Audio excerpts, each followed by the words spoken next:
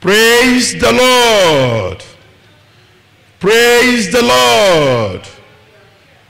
I'm sure you are still basking in the blessings, loads of blessings that we all harnessed and acquired, garnered last month when we had our 21 day fasting and prayer program.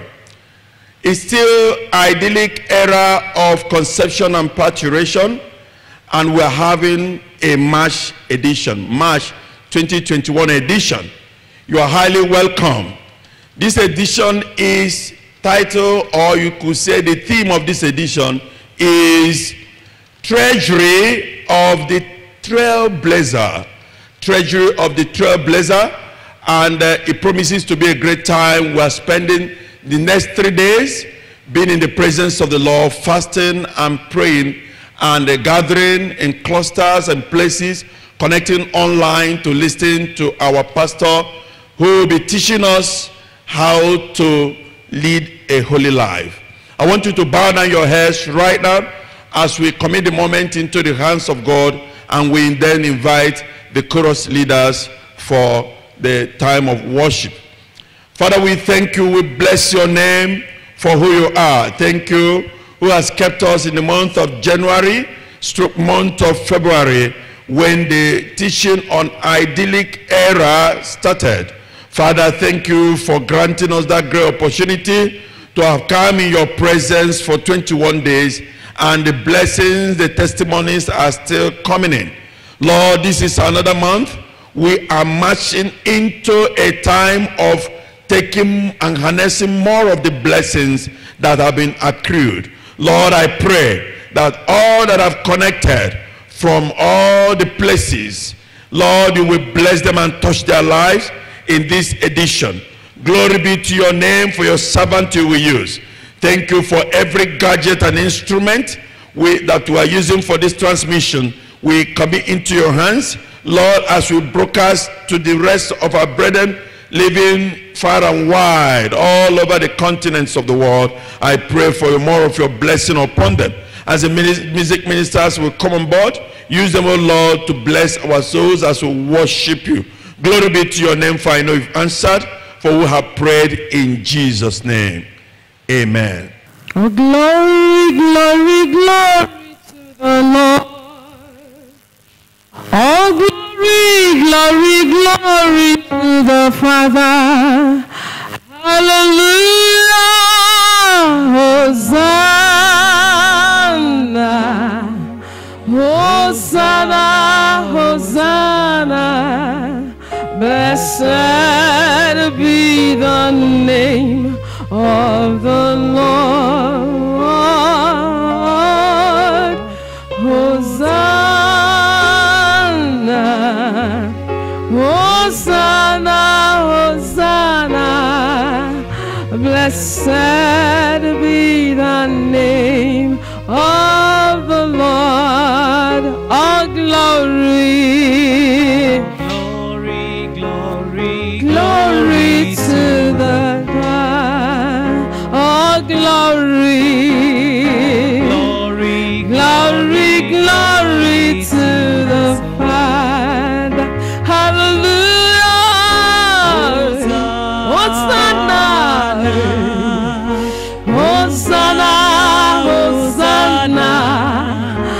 Blessed be the name of the Lord. Hosanna. Hosanna, Hosanna, blessed be the name of the Lord.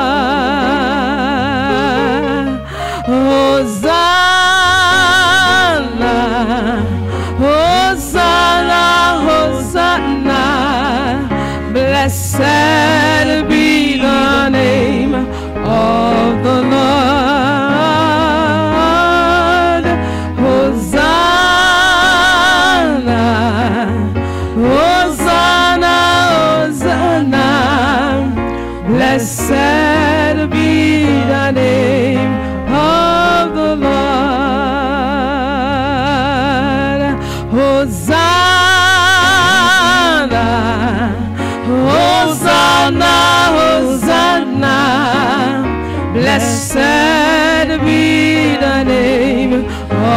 of the Lord. Hosanna, Hosanna, Hosanna. Blessed be the name of the Lord. All glory. Glory, glory, Glory glory. to the Father, all glory.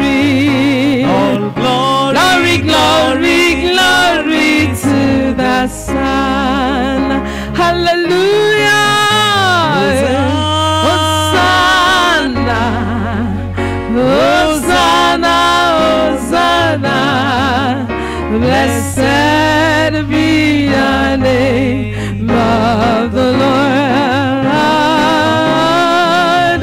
Hosanna. Hosanna, Hosanna. Blessed be the name of the Lord. Take glory, Father. Take glory, Son. Take glory, Holy Ghost, now forevermore.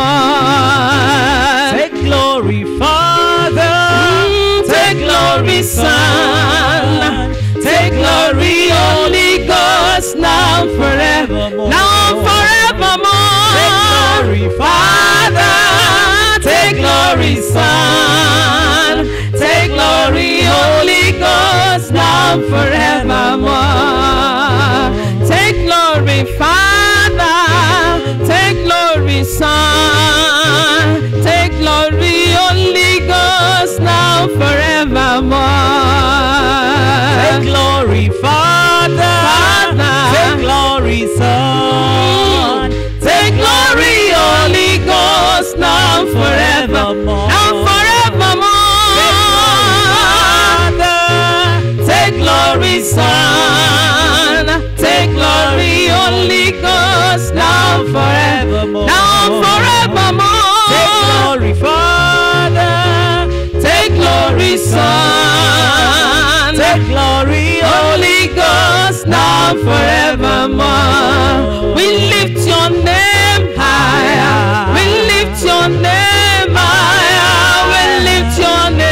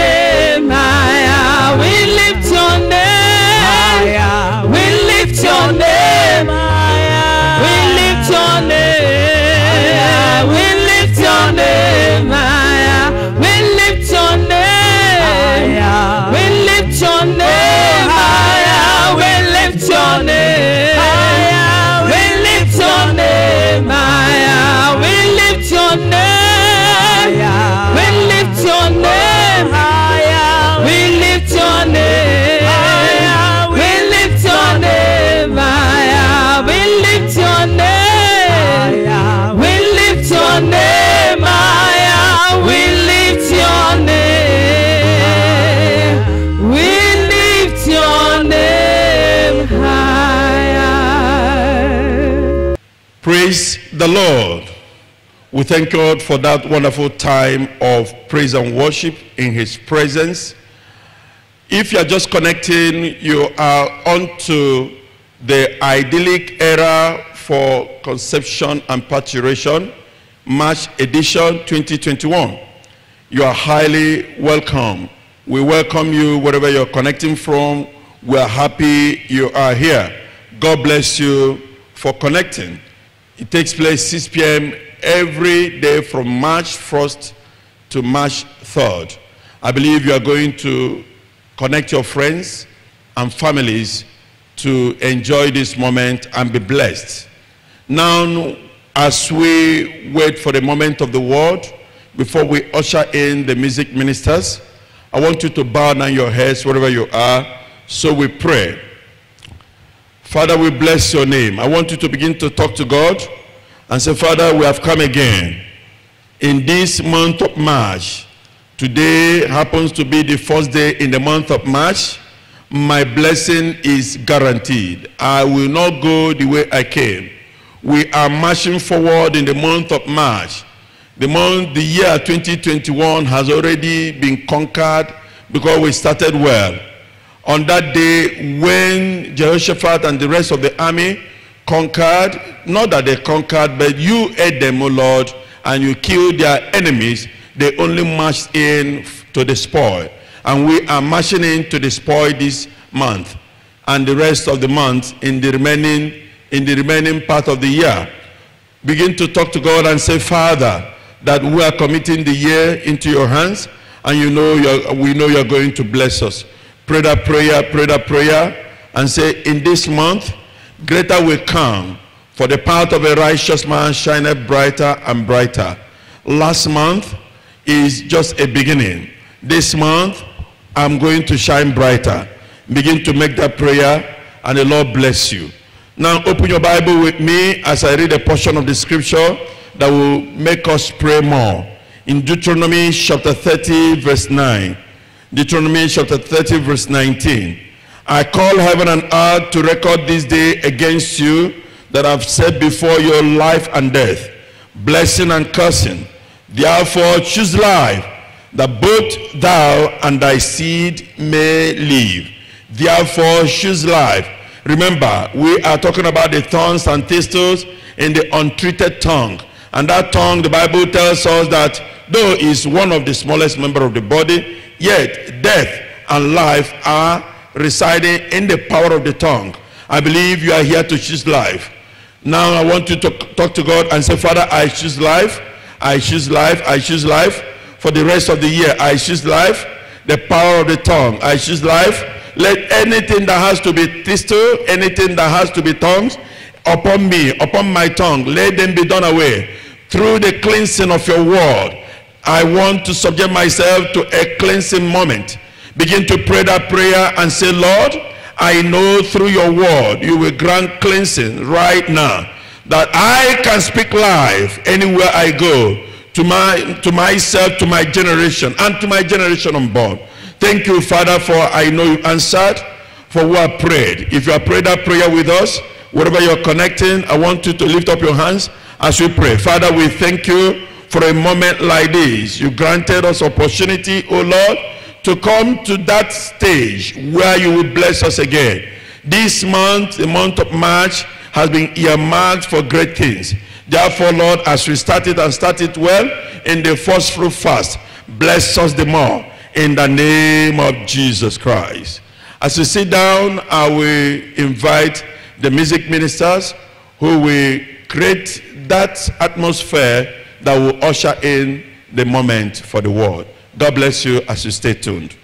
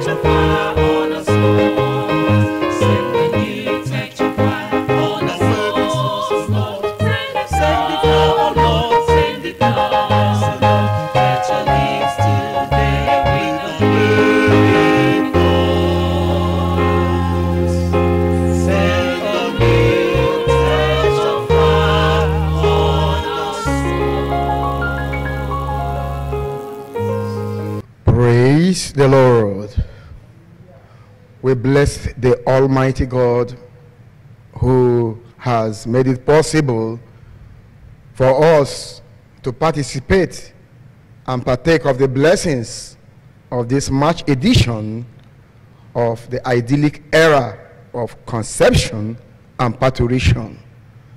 We welcome you all connecting from the parishes and uh, from the various locations outside this country. The precious brethren correcting from US, Canada, UK, UAE, Angola, South Africa, Australia, and wherever you are collecting from outside in the country, you are highly appreciated. And I'm trusting the God of heaven who blessed you in the first era, the first session of our program, to also bless you even more abundantly today and through this three days exercise. As you have been told, the theme of this exercise is the treasury of the trailblazer. We are going to show what a trailblazer like the watchman should have. And I'm trusting that as you pay attention and connect tomorrow and the final day, the third day, the Lord will not allow you to remain the same. Knowledge is power. And once you have power, progress and success is guaranteed with the addition of wisdom which is available. So, bow our heads as we pray. All glorious Father, we bless you, the keeper of covenant, who does exceeding abundantly more than we ask of him. The God that has called us with a calling that is unfeigned, who has promised and who will not fail.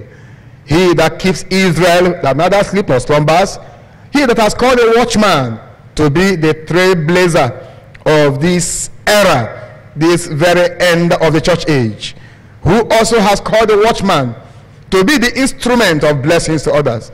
You will make watchmen whom they should be. Therefore, Lord, I pray that as your word comes out from the pulpit of many colors, that you will reach all and sundry, all participants, all that will listen to this message, you will reach them and uh, ensure that what you proposed to accomplish through this exercise is realized or accomplished in their lives. In the name of Jesus Christ. Your word says that they shall be taught of the Lord. I therefore request that your spirit will take hold, absolute control of me to minister life to all hearers. In the name of Jesus. Thank you for answering my prayers.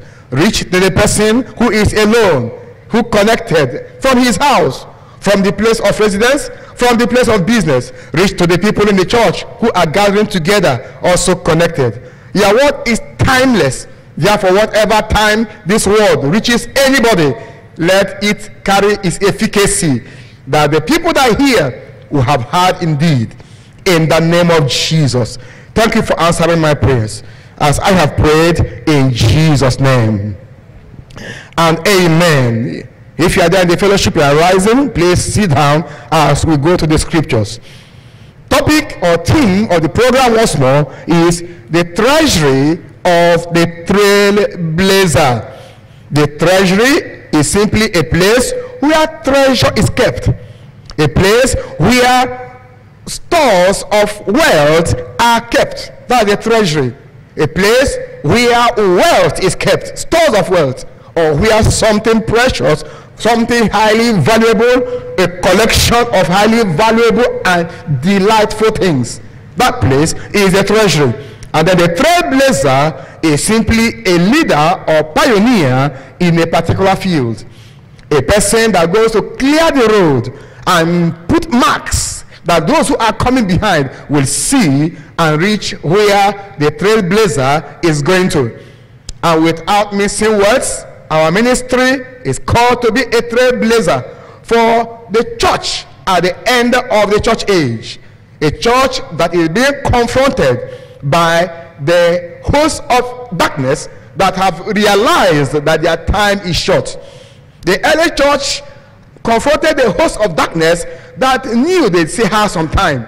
We are people confronting the same host of darkness that have known that their time is short and so are more aggressive, are more determined to accomplish their nefarious, diabolical objectives. So the watchman has been called to clear the road and show the others how, what, and the way to go.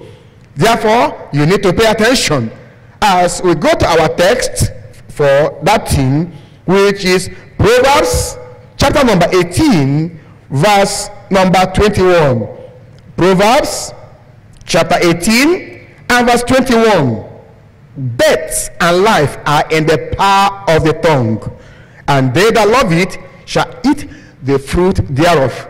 Death and life are in the power of the tongue, and they that love it shall eat the fruit thereof. And in Romans chapter 10, reading from verse 6 through verse 10, Romans chapter 10, verses 6 through 10. Romans chapter number 10, from verse number 6. But the righteousness which is of faith speaketh on this wise. Say not in thy heart, Who shall ascend into heaven? That is, to bring Christ down from above. Or, which are descended into the deep? That is, to bring up Christ again from the dead. But what said it? The word is nigh thee, even in thy mouth and in thy heart. That is the word of faith which we preach.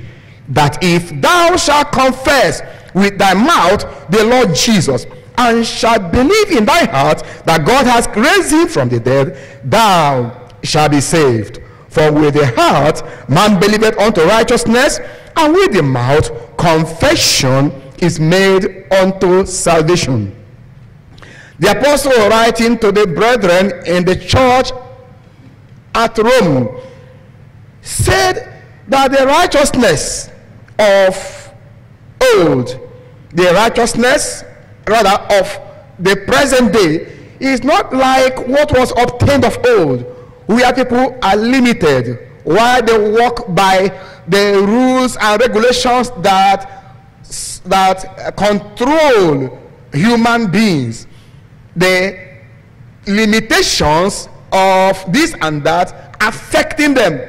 That the righteousness that is of faith which is the righteousness of the new testament does not have any limitation it doesn't work by natural forces and natural laws who shall ascend that distance to bring somebody down who shall descend that distance to bring somebody up it doesn't work that way the righteousness is of faith which says with you in your mouth and in your heart you have the key to accomplishing whatever you want, whatever is proper for you. In your mouth, there is power. In your heart, there is power. As you put the mouth and the heart together, you can lead a successful Christian life. So that is the righteousness of the present time, which is acceptable, which is the New Testament righteousness. In chapter 18 of Proverbs that we read, it talked about the power in the mouth, the power in the tongue, death and life are there. The tongue has the capacity to take life or to give and to give life. To take away and to give. When it takes away, it gives death. When it gives, it genders life. That is what is there in the tongue. And uh, my text for today is, or my theme for today, rather, or topic for today is tongues and thistles in the untreated tongue. Thorns and thistles in the untreated tongue. I am talking to, first of all, watchmen who are called to be trailblazers. I'm talking to people that have resources within them that they need to know about and utilize. At the beginning of the year, we showed that the believer belongs to God's kingdom and is not supposed to be under the rules and regulations of natural living, under the whims and caprices of natural forces. That the believer is to walk according to the word of God. We walk by faith, not by sight.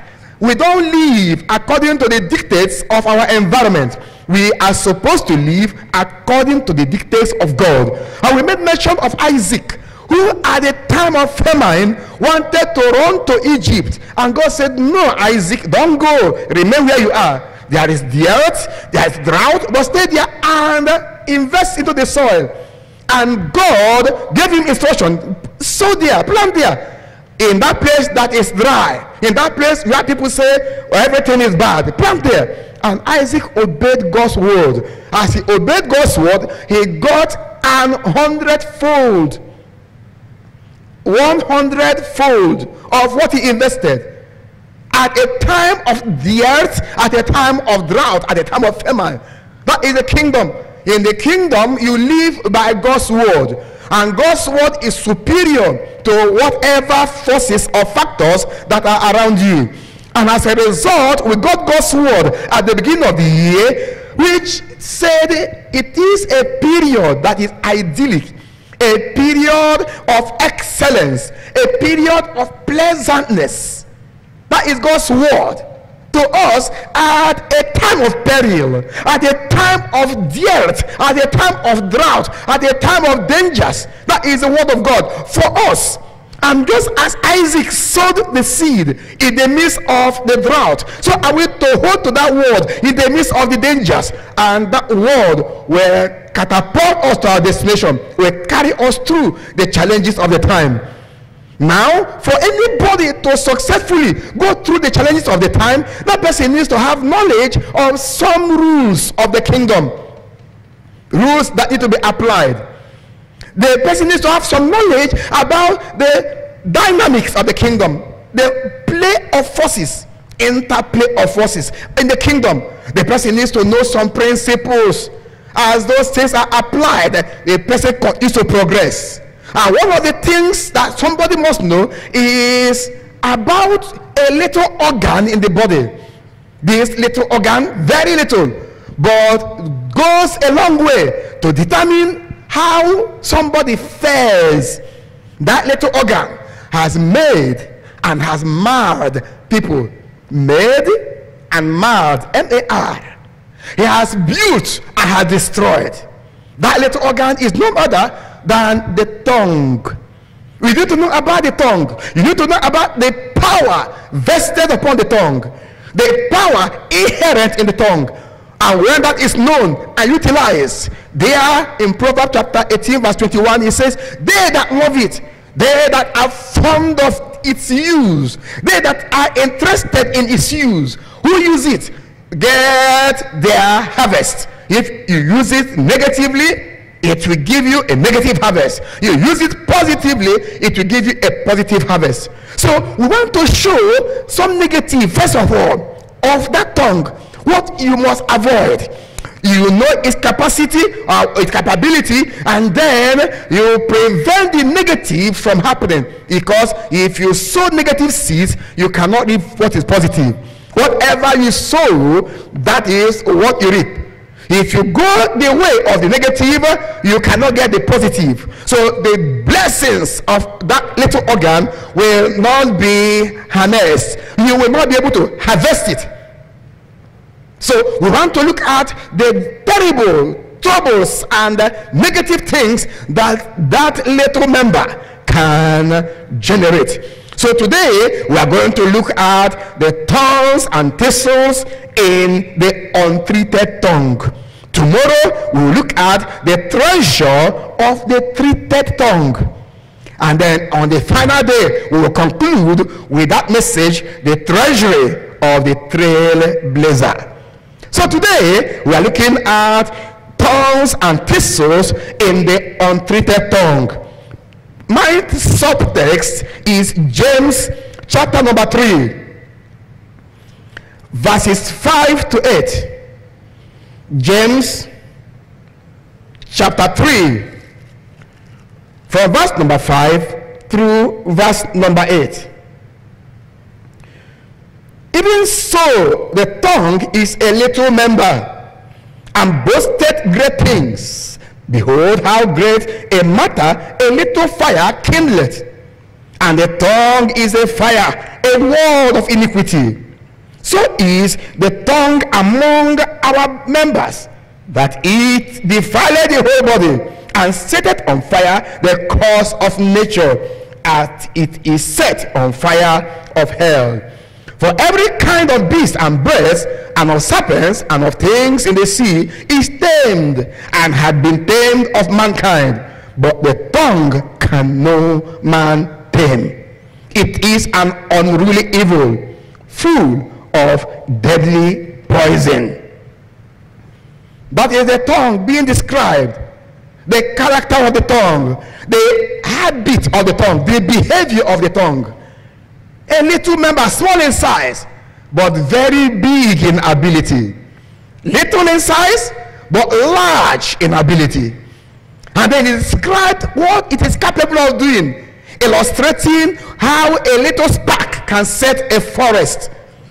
Many of you that are in the temperate regions where sometimes there can be some dryness, real dryness, and a lot of strong wind.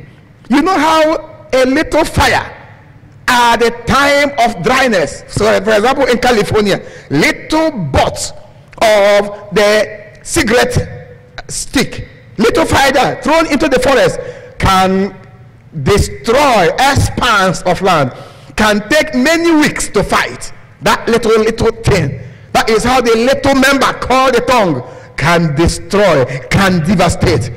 And the writer, under inspiration, Ju- uh, James, the, the, the apostle, he said that all animals have been tamed, all kinds of animals, but man cannot naturally tame the tongue. Man cannot naturally tame the tongue. You want to naturally tame it, you are incapacitated. You will not be able. Anything you manage, that will just be a kind of little show. When challenges arise, the tongue will show that you didn't train it, you didn't tame it. There is somebody that can assist you to tame the tongue. And that is all about the message of these three days. And when that tongue is tamed, the good ability, the characteristics that are positive, good energy, positive energy of the tongue is made manifest, and then blessings of God will naturally follow. But today we are looking at what happens with the tongue that has not been treated, that has not been treated, that has not been refined. The tongue that is still crude. That is what we're talking about thorns and thistles. Thorns and thistles. Thorns and thistles are figurative of troubles. Things that make for trouble, for pain, for annoyance, for irritation, for sorrow, for displeasure. Thorns and thistles. The thorn is that spike that you see on a tree or on a leaf or on a stem. Sharp, spiky uh, projection. That's a thorn.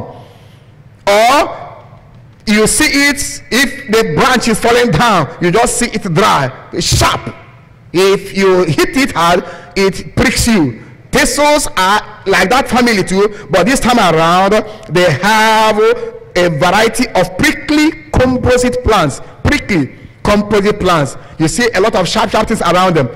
They are symbolic or figurative of matters that make for annoyance pain, sorrow, displeasure, irritation, and things that are just negative. So we're looking at the negative things that emanate from an untreated tongue. And it's essential for a child of God to know about this because if you don't have control of your tongue, your Christianity is futile. In James chapter 1, Anybody that's a Christian but has not brought the tongue under control cannot bridle the tongue. Hear what God's word says. James chapter 1, verse number 26. If any man among you seem to be religious and bridleth not his tongue, but deceiveth his own heart. This man's religion is vain. Any person that seems to be religious but does not have control of his tongue, anything can come out of his mouth. That person's religion is futile. That person's religion is worthless, does not have any weight. No matter how long the person has been in church, no matter what the person holds in the church, the position, the person can say, I am a pastor. If a pastor does not have control of his tongue, his religion is vain.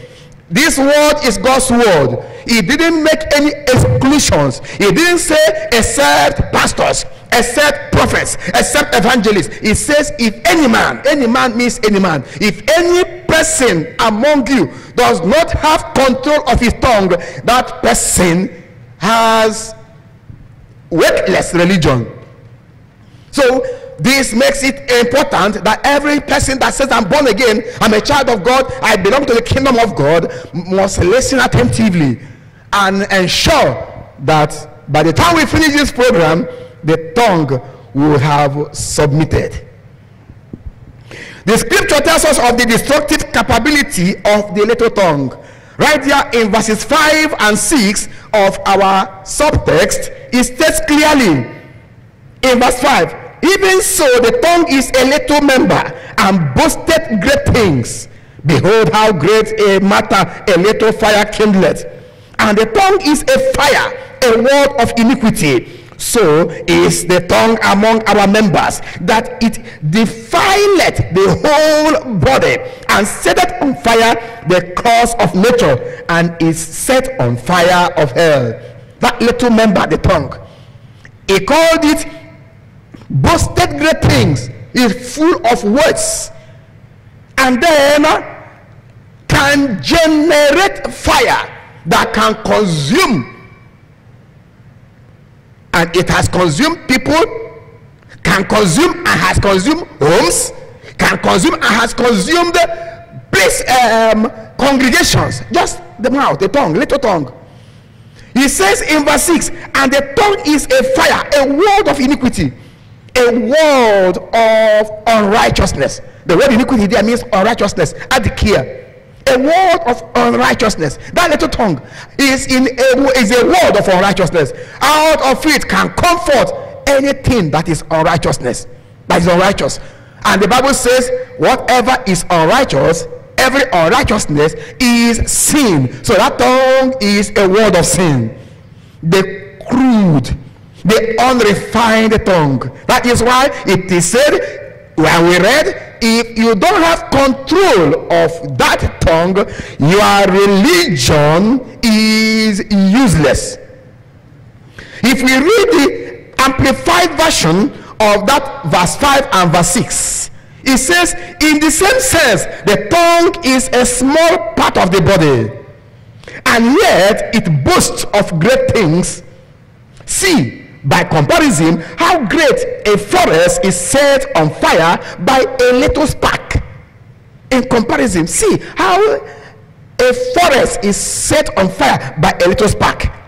Then verse 6 says, And the tongue is, in a sense, a fire, the very word of injustice and unrighteousness.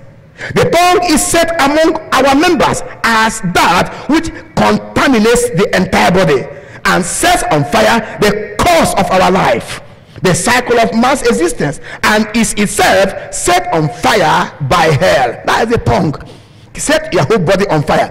Can contaminate you, can contaminate other people from what came, comes out of somebody's mouth, some other person, some other family. A church is contaminated. That little tongue. And hell, Gehenna, sets it on fire. Propels it to keep on speaking so that ultimately it will destroy and will get destroyed. So the believer ought to know whatever he should know about the tongue. It has destroyed and uh, has been destroying things in the physical. In the physical, things in the spiritual spheres of life. It has destroyed marital relationships. It has destroyed businesses. It has made people to get into experiences that they never envisaged, just what they said. So the child of God needs to pay attention. Now, I want you to note that the behavior of the tongue is a function of the state of the heart. The behavior of the tongue is a function of the state of the heart. How the heart is determines what how the tongue will behave. The behavior of the tongue is determined by the state of the heart. If the heart is healthy, the tongue can be healthy. If the heart is polluted, the tongue will be polluted. So the behavior of the tongue is acts. How it behaves, how it is determined by the state of the heart. In Matthew chapter number 12, verse number 24, 34. Matthew chapter number 12, verse number 34. O generational vipers, how can you, how can ye, being evil, speak good things? For out of the abundance of the heart, the mouth speaketh. The mouth speaking is simply the tongue moving. Out of the abundance of the heart. So the character, the behavior of the tongue is connected to the state of the heart. If the heart is healthy, free, clean, then the tongue can generate, can gender good, good things. If the heart is polluted, Jesus says, How can you be evil? Having evil heart, say good things. So the heart and the tongue are connected. In Romans chapter 10 and verse 8, you'll find that connection reflected. Romans chapter 10 and verse 8. What but what said it? This word is nigh thee, even in thy mouth and in thy heart. The righteousness that is by faith is the word. The word of faith. It is in your heart and in your mouth. It's not only in your mouth, it is both in the heart and the mouth. The heart and the mouth are connected. It is what is in the heart that comes out through the mouth. So if the heart is full of unbelief, the tongue will generate unbelief, will dispense unbelief. If the heart is full of faith, and the word of faith is in the heart, what will emanate from the mouth are words of faith. So the heart and the mouth and the tongue are connected. An unrefined tongue may spread false reports. When the tongue is not refined, the heart is not refined. If the heart is refined, the tongue is refined. So the state of the tongue is tied to the state of the heart. If the tongue is not refined, it may gender false reports. What God wouldn't want his people to be involved in. In Exodus chapter 23, let me take you through some scriptures because we anchor on scriptures. In Exodus chapter 23, reading verses 1 and 2. Exodus 23, verses 1 and 2. Thou shalt not raise a false report. Put not thy hand with the wicked to be an unrighteous witness. Thou shalt not follow a multitude of evil, neither shalt thou speak in a cause to decline after many to rest judgment. Don't get involved in false reports. Don't associate with people who are bearing false witnesses. Don't say what is not true. Don't join people who are doing that. When the tongue is unrefined, the heart is unrefined. It can permit the flow out of false reports. It can also gender murmuring and criticism of what one did not understand. If somebody gets involved in murmuring and criticizing what he or she didn't understand, that tongue has not been refined. In Numbers chapter 23, Balaam said, I cannot get involved in saying what I should not say. Uh, Numbers chapter 23, I read verse number 8. How can I curse whom God has not cursed? Or how can I defy whom the Lord had not defied? How can I curse whom God has not cursed? Anybody that opens his mouth and begins to speak derogatorily about God's servants, about God's people, that person has a tongue that has not been separated, that has not been refined. Today, speaking against God's children and God's servants is the order of the day. That what makes the dailies to sell. The eh, newspapers are filled with pastors and pastors and pastors. Anything about pastors, servants of God, that the world carries the day, and people take pleasure in it. If you are in the church and you are given to speaking evil of God's servants, whom God has not spoken evil of, whom God has allowed to continue to minister, you have a tongue that is uncircumcised, unrefined. Unrefined tongues do speak hurtfully. If you find that from your mouth you release venoms and you say things that cause people sorrow, speak hurtfully, it is that your tongue is still unrefined, your mouth is rotten. Romans chapter 3, verse number 13. Romans 3 13. If we talk about prosperity and then we didn't tell you about the real wheat of prosperity, then we have deceived you. If we only tell you about material prosperity and physical prosperity, health prosperity, matrimonial prosperity, and we don't tell you about the prosperity that lasts from here into eternity, we have deceived you. That is why we see us take time to purify the spirit man and ensure that the enemy does not hold anything against you. Life is short and judgment is sure. Romans chapter 3, verse 13. Their throat is an open sepulchre. With their tongues, they have used deceit. The poison of asp is under their lips. Talking about what comes out from the mouth. The mouth, the throat is an open grave where the rotten body, the carcass or corpse that is decaying is staying. You know the stench that will emanate there. Then he says that their tongues are deceitful. With their tongues they deceive, and their mouths speak poison, spill poison. Asps are simply cobra. The cobra, that's the, uh, the, the, the thing referred to asp. The poison of the cobra. Those of you that have knowledge about zoology will tell us about the kind of poison that the cobra has. They call it the neophilic, neurophilic poison that goes to attack the nerves. And so when the poison goes, it, it is not as painful as the poison of the rattlesnake, which is hemophilic, the one that destroys tissues. The poison of asp, cobra, does not destroy tissue.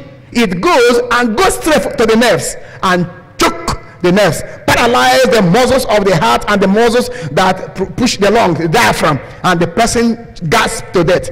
Silently, the person is destroyed. So the amount of people, this kind of people, when they say that thing, the thing will linger in somebody's life until it knocks the person out. So if you are there in the place where you are and you speak hurtfully and you destroy people's lives, your tongue is unrefined. Proverbs chapter 26, verses 22 to 24. Proverbs chapter 26, from verse number 22 through verse number 24. Proverbs 26, we are still talking about hurtful. If you speak to hurt people, verses 22 to 24 of Proverbs 26. The words of a talebearer are as wounds, and they go down into the innermost part of the belly. Burning lips and a wicked heart are like potsherds covered with silver dross. He that hated dissembleth with his lips, and layeth up the seed within him. The talebearer goes to carry news against people. He is having or she is having a mouth that hurts. Although that speak rashly and uh, abruptly, who don't have control, whose mouth issue every kind of statement. And when they say the things, they can cause confusion. That tongue, such tongues are unrefined. Consider what Proverbs chapter 25, verse 11 says. Proverbs 25, verse 11. It says, A word fitly spoken is like apples of gold in pictures of silver. A word fitly spoken is beautiful. Golden apples placed in a picture that a background of silver. What a beauty that is. A word fitly spoken. The man, the woman that has allowed the Holy Ghost to refine him and refine his tongue will always speak appropriately, speak rightly. And his words, when he finishes, when she finishes, people will nod their head and say that you have spoken. You have spoken well. But people that don't have control, they must say something. They will say things that will rather lead to persecution. If somebody speaks pretentiously, somebody speaks to glorify himself, or speaks to show that he is important, wants to be known, speaks to for ostentation, that tongue is still uncircumcised. In verses 20, chapter 28, verses 18 and 19, chapter 26, where we have read verses 18 and 19, first of all. As a madman who casted firebrand, arrows, and death, so is the man that deceiveth his neighbor and saith, Am I not in sport? Somebody deceives his neighbor and say, I was just joking. That person is like a madman that takes fire and sets up a structure on fire. And in verses 24 and 25, he that hated dissembled with his lips and laid up the seed within him. When he speaketh fair, believe him not, for there are seven abominations in his heart, whose hatred is covered by deceit. His wickedness shall be shewed before the whole congregation. Here is somebody that has hatred in his heart, but says something different.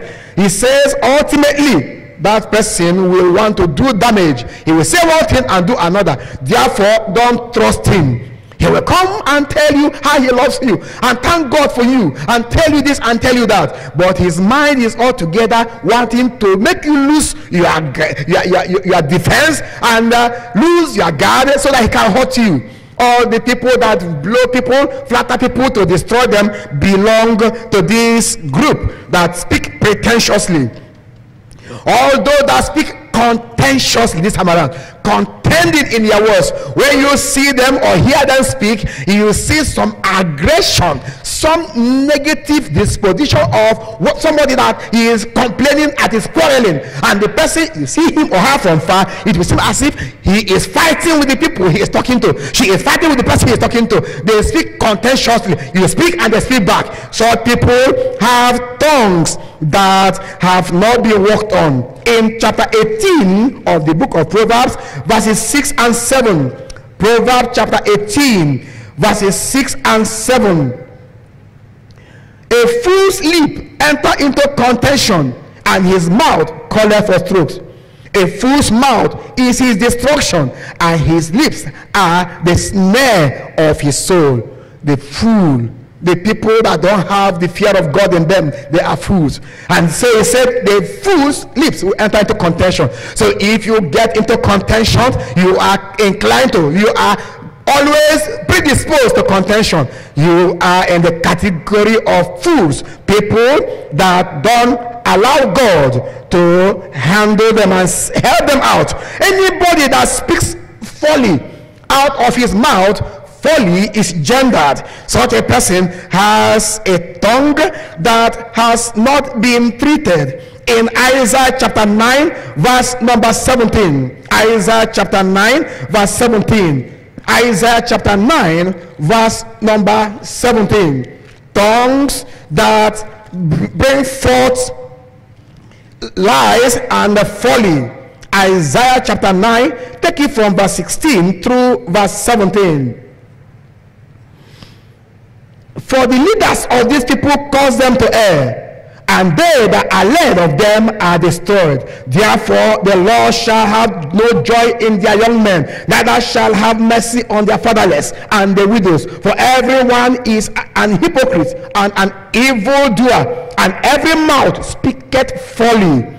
For all this, his anger is not turned away, for in his hands is stretched out. Their leaders have misled them, and out of their mouth foolishness emanates, and says God's judgment will ultimately come upon them. In Jeremiah chapter 9, verses 4, 5, and 8, Jeremiah chapter 9, people that speak lies. So if you bring lies out of your mouth, it is because your tongue has not been treated. You are yet unrefined. Every unrefined tongue means unrefined heart.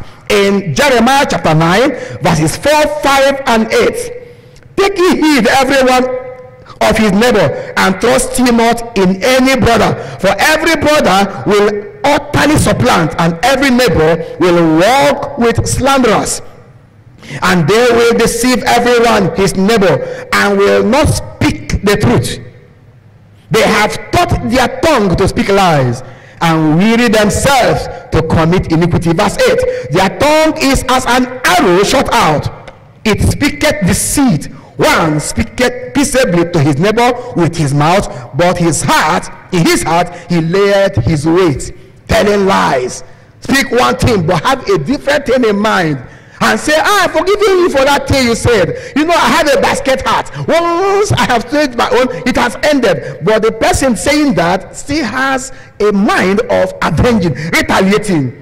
Anybody that does that, if the person says he's a preacher and then will come and say, I don't have anything against you, but has something, that person has not been treated. His heart is still in sin, and so the tongue is in sin. And any mouth that is double tongued, any mouth that is double tongued, that double tonguing, permit me to use the word, is an expression of lack of refinement. What do we mean by double tongued? Being double tongued presenting different views of an issue to different people.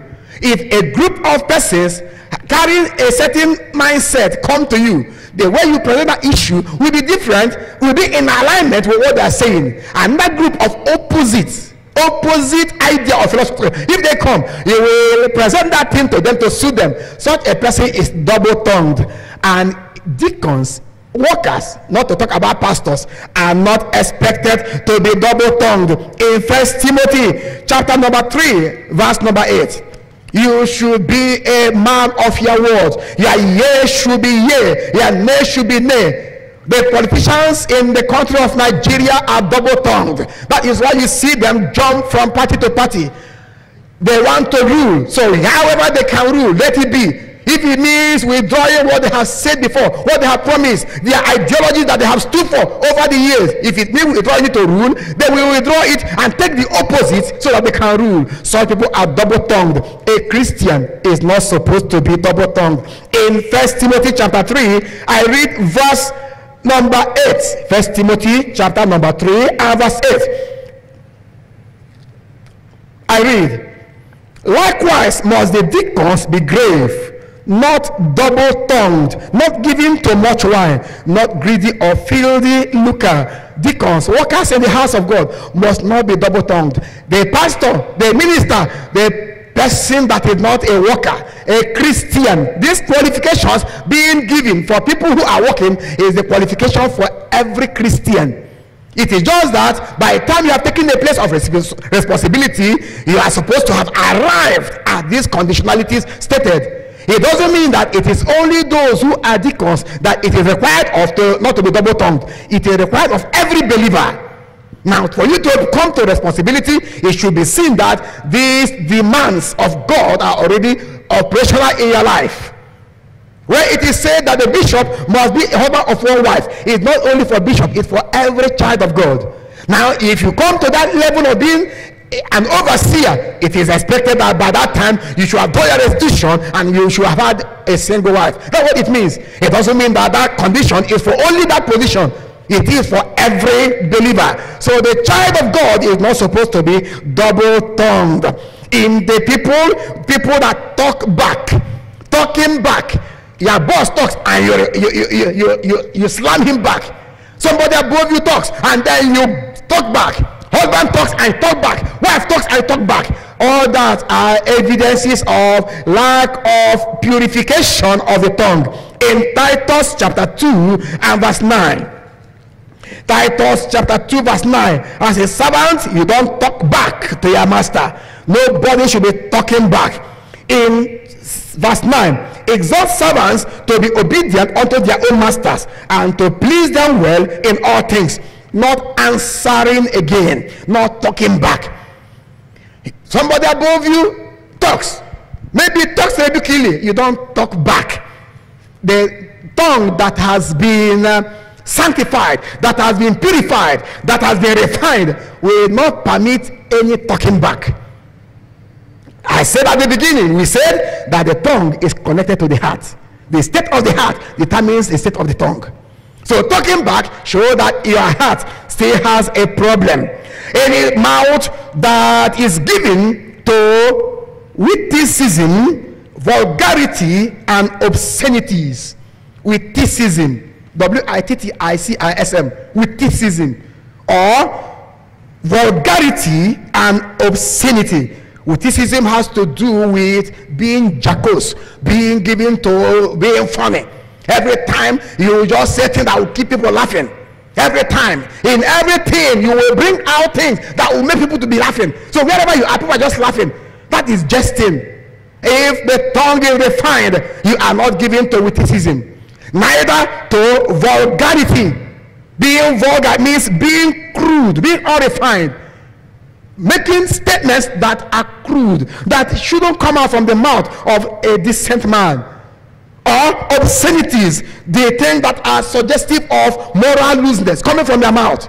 There are mouths that are dirty. When the people open it, the words that come out are corrupt, suggesting suggesting immorality, and the thing is coming from that mouth. That tongue is crude. That tongue has not tasted of the refining power of God. At whatever condition you are, for you to bring out rotten words from your mouth, immoral words from your mouth, it shows that that tongue has not been refined and needs to be refined. In Ephesians chapter 5, verse number 4. Ephesians chapter 5, I'm reading verse 4. Ephesians chapter number 5, verse number 4. This is a time of sanctification by the agency of the word. Ephesians chapter 5, verse 4. Neither filthiness, nor foolish talking, nor jesting, which are not convenient, but rather giving of thanks.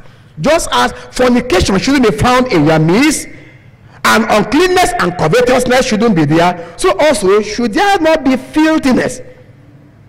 Vulgar words are filthy words. They are belong to the family of the filthy. Obscene language is filthy. Language you speak and somebody gets touched.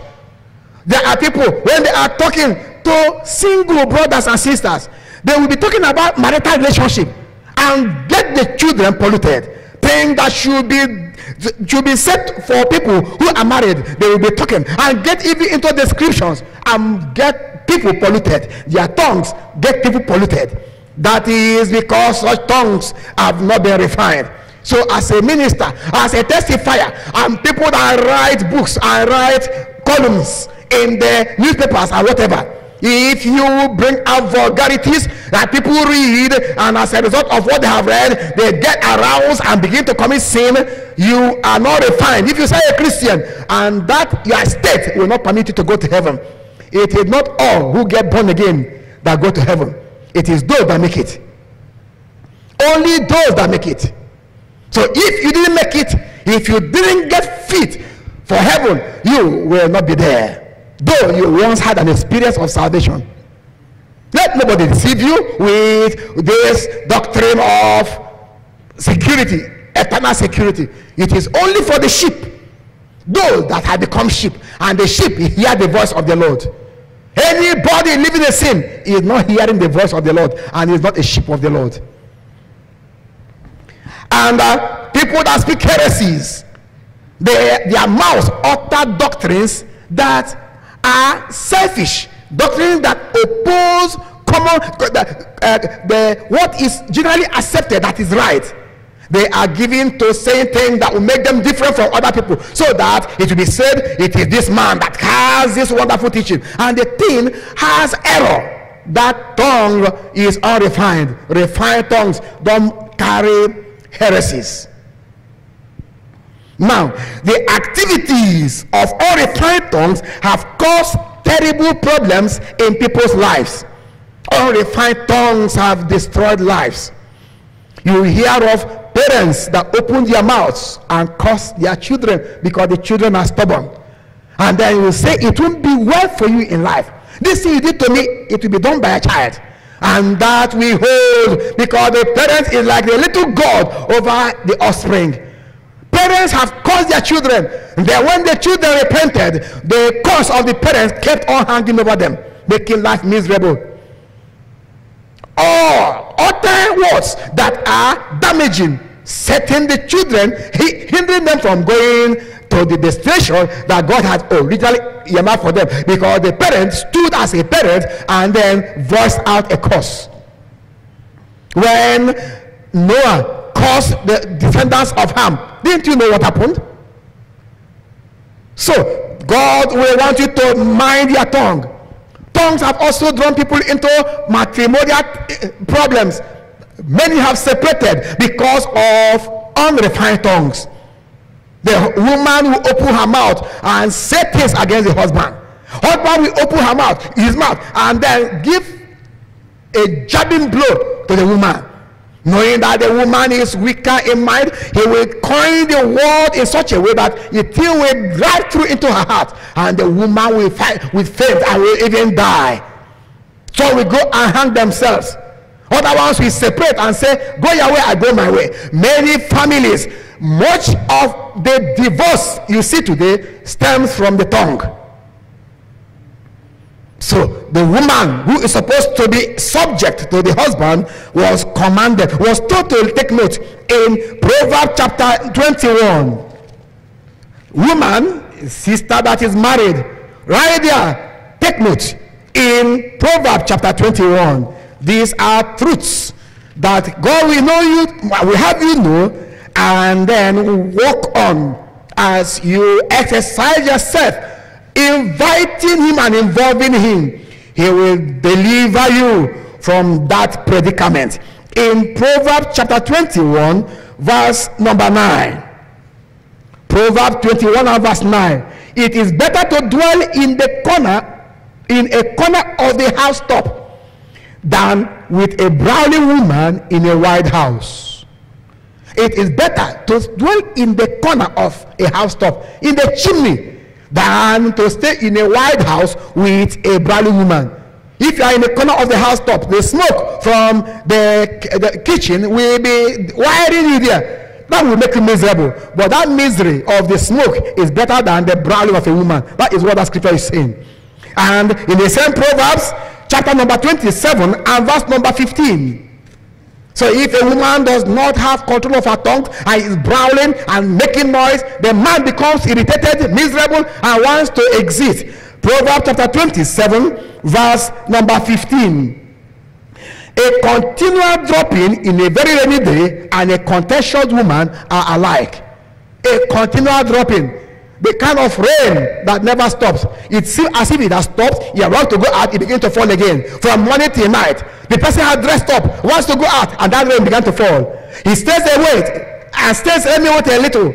After one hour, it seems to have stopped. As he rises up to go out, it begins again. And that is how it will keep the person indoor. It makes somebody miserable. He said that is what happens when a woman is contentious, when she is argumentative, when she is full of strife. That is how the man will be feeling. And the man will become miserable. And the man may get angry if he is a carnal man, if he has not been dealt with by the Spirit of God. He may get into violence and begins to beat the wife. And such a man is a madman. A man that stretches his hand to beat his wife is mad. That man is not fit to live. He is not a man, he is a boy. It is only boys that beat women, that beat girls. A man doesn't raise his hand upon a woman. A woman can slap a man and the man will keep quiet because if he retaliates, the woman may die and then the law will come after him. What makes him a man is he knows the consequences and implications of being violent. Anybody that showed violence to his wife is a boy. He shouldn't call himself a man. He is not qualified to marry. Now, let's go to more scriptures. For the man, hear what Peter said to you in First Peter chapter 3. First Peter chapter 3. As it pertains to you and uh, your wife dwelling together. First Peter chapter 3, reading verse number 7. First Peter 3 7. Likewise, ye husbands, dwell with them according to knowledge, giving honor unto the wife as unto the weaker vessel, and as being heads together of the grace of life, that your prayers be not hindered. Husbands, you should dwell with them according to knowledge. Overlook those their feminine propensities, those their feminine tendencies. Don't begin to quarrel with your wife and then begin to speak, knowing that she is fragile. Your words can disorient her. Your words can disorganize her. Your words can give her hypertension. So mind your words, moderate your words. Don't lash out at her with words. That is what Peter was under inspiration was telling husbands that what you are being told as a man. So it's not only women to control their tongue, men should control their tongue. You don't open your mouth and begin to criticize your wife and say things that will break her down. Tongue has destroyed homes, and many people are today not living well because of their tongue. Man or woman. People have lost favor and even lost employment because of their tongue. What they said made them lose favor or get made them to get sacked because they said what they shouldn't say. And as a result of getting sacked, they suffer the uh, consequences of unemployment. In Matthew 25, you hear the story of the lazy um, servant who took the money, the talents given to him, and hid it. When the master returned, look at his mouth. His mouth said, I know that you are an austere man. You take what does not belong to you.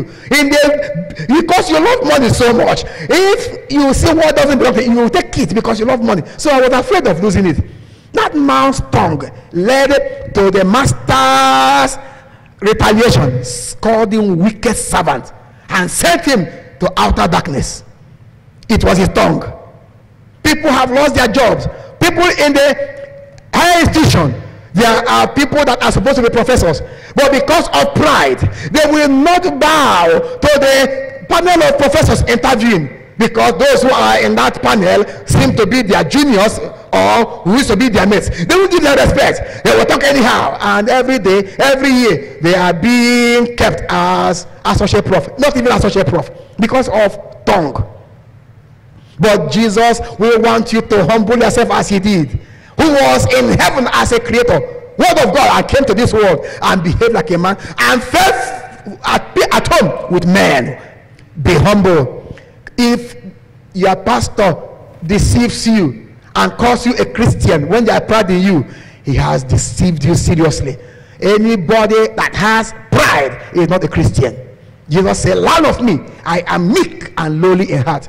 If where you are attending, you are attending, whether it's a call fellowship, you may be a sponsor there, but they have allowed you to retain your pride. They have done you great disservice. They have done you great harm. At the end, you are going to say to those people, you are wicked. Don't allow that end to come. Come now, give your life to Christ now, and empty yourself of your pride. Because God resists the proud and gives grace to the humble. Mouth, the tongue has destroyed homes. The tongue has made people lose their jobs, has made people lose their homes, has broken relationship, has made people lose favor, has brought persecution untold. The tongue has also brought untimely death based on what somebody said, and that person killed him or her. he insulted somebody. Like, about two weeks or three weeks ago, I made mention of what was there was pushing snow from his side to another man's side, pushing it, pushing snow with his wife. And the man, other man came and said, Why? And these people began to curse the man. And this man just went into his house, got a rifle, and shot the two people dead, and went in and killed himself. The mouth responsible.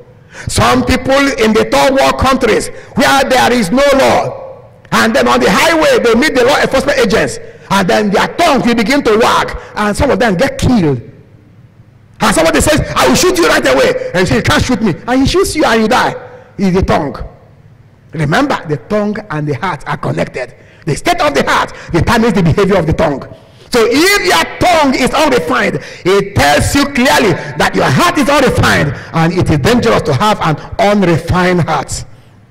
The Lord, knowing the destructiveness of the tongue, warned against meddlesomeness because the tongue can destroy. He said, Don't meddle. If you read Proverbs chapter number 26, verse 17, he talked about meddlesomeness. Don't meddle. Don't get involved in tale bearing. Don't get involved in flattering. Don't get involved in murmuring. All these activities bring destruction. The negative outputs or fruits of a diseased tongue attracts divine judgment. The negative fruits of a diseased tongue, tongue that is unrefined is disease. That negative fruit attracts divine judgment. In Matthew chapter 12, soon be rounding off right away. Matthew chapter 12, verses 36 and 37. Later, you take connect to our platform. The outline for this message will be there. All the scriptures I read and the ones I didn't read are there for your perusal and exercise. In Matthew chapter 12, verses 36 and 37. But I say unto you that every idle word that men shall speak, they shall give account thereof in the day of judgment. For by thy words thou shalt be justified, and by thy words thou shalt be condemned. Every word, even idle word, word that seemingly has no meaning, will be accounted for. So bad words will now tell you where it should be. Simple common sense will tell you if then if words that don't have value will be accounted for, then words that are negative, words that are damning will now tell you you now know that such will really be paid for. Victims and culprits of this diseased tongue must repent and call upon God for assistance without delay. If you find that this thing says so far about a disease song is applicable to you, your tongue brings forth lies coming from the heart. Your tongue is given to striving, contention. Your mouth issues vulgar words, obscene language, dirty words, immoral words come from your mouth. Your mouth exudes things that are negative, things that hit people bad. You are hurtful. You don't have control of your mouth. You don't have control of your tongue. It can uh, bring out whatever you didn't even plan to bring out. If you have that, you need to go to God in prayer, taking a decision to discipline your tongue, discipline yourself by God's assistance. There was a prophet called Isaiah who was preaching and preaching and preaching, condemning people and convicting people.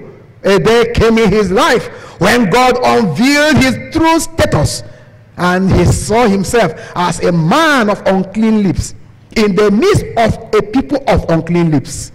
He cried out, showed that he was in need, and the God of heaven sent an angel, a seraphim, came symbolically touched his lips, and the yoke of uncleanness was broken.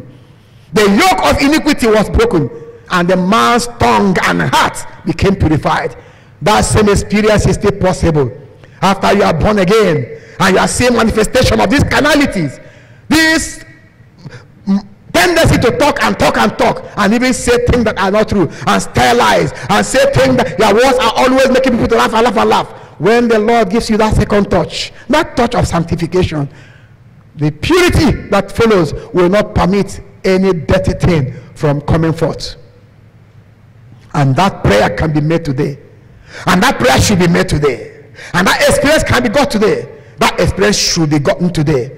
If you call upon God from your heart, you didn't cover your sin because whosoever covers his sin shall not prosper. You didn't excuse yourself. The power of God will touch you. And then the beauty of the tongue will be seen. Tomorrow, I'm going to show you the treasures of this tongue. When you have allowed it to be purified, what can come out of it?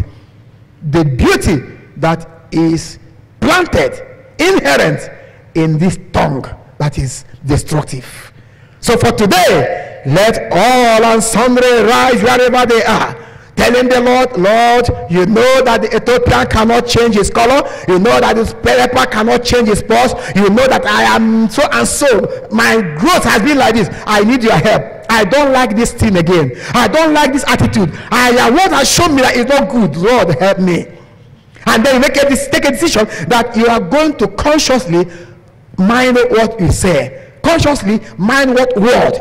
Anytime any negative word comes out of your mouth, you withdraw it. As you become conscious of it, the grace of God will take over. And a point comes when you are no longer struggling to have purity of words emanating from your tongue. Let us pray. Little member that boasted great things, eternal Father, most gracious God, the God of Israel, the Holy One, who is of purer eyes than to behold iniquity. I present all these who are connected unto you, who have heard your word, who have responded to your word by calling upon you.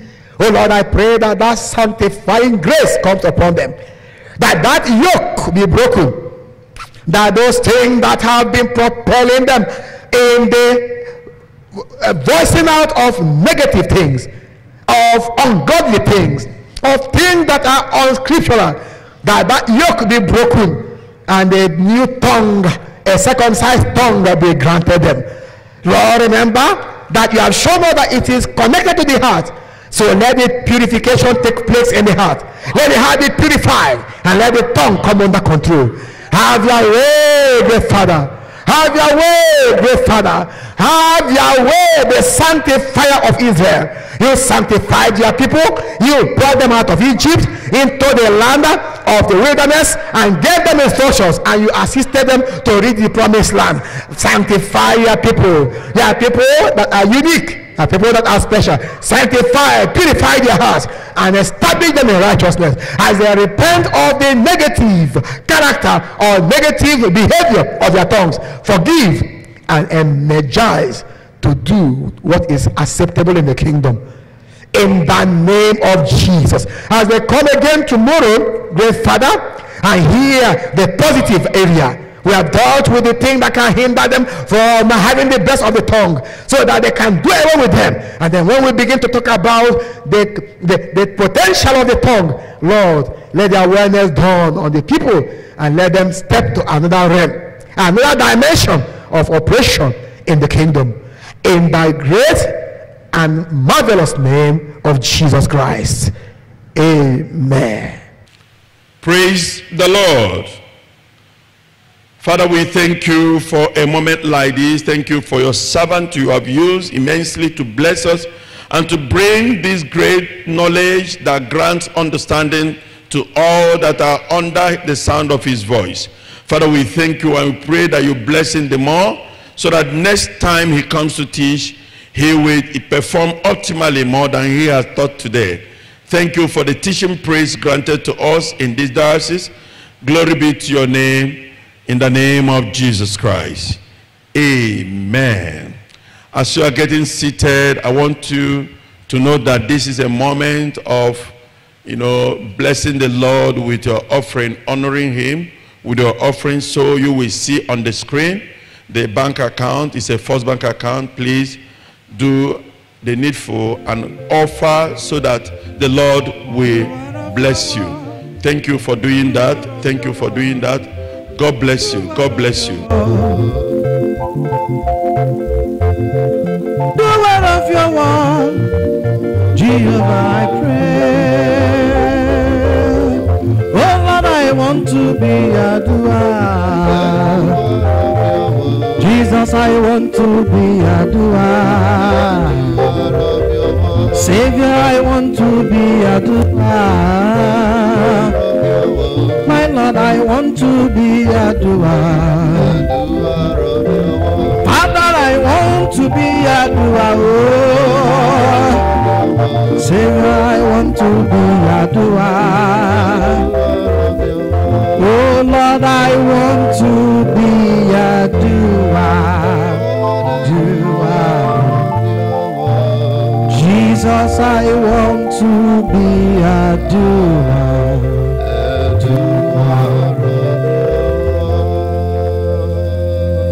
Thank God for giving us that opportunity to offer. Right now, we want to share the grace of fellowship before we go. Rise, so we share the grace. The grace. May the grace of our Lord Jesus Christ, love of God, sweet fellowship of the Holy Spirit be and abide with us now forevermore. Amen. Surely, Lord, goodness and mercy shall follow us all the days of my life. I will dwell in the house of the Lord forever and ever. Amen. We're going to take the, uh, the closing hymn from the music ministers, the last stanza.